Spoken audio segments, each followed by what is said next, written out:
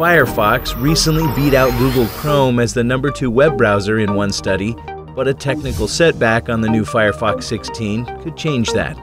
Just a day after it was released, Firefox creator Mozilla pulled Firefox 16 from the market because of a new security vulnerability it introduced. The lapse could allow a third party site to track where Firefox users are browsing. How problematic is this?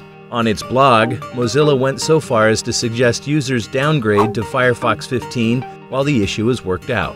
Besides boosting usability, the latest Firefox update sought to sharpen what has been its main competitive edge fewer security vulnerabilities than the perennial number one browser, Internet Explorer. Mozilla promised to have a fix available soon. Want more technology? We're breaking down the latest trends and stories in tech. Check out Slate News Tech. Click to subscribe. Like us on Facebook at Slate Video, follow us on Twitter at Slate Viral.